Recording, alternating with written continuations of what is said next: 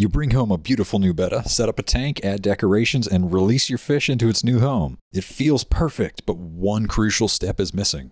It's cycling the aquarium.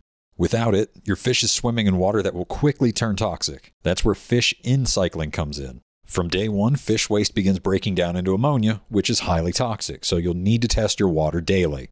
As soon as ammonia appears, do a partial water change, either every day or every other day, to keep the levels safe and reduce stress on your fish. Over time, you'll notice a clear pattern in the test results. Ammonia rises. As the first colony of bacteria develops, ammonia will dip while nitrite rises. Nitrite is also dangerous, so daily testing and water changes remain essential.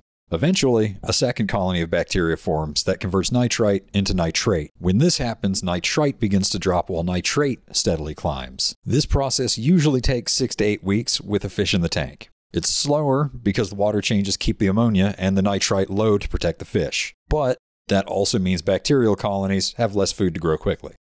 Your tank is fully cycled when ammonia and nitrite both stay at zero and some nitrate is present. At that point, you can move to weekly 10 to 25% water changes instead of daily.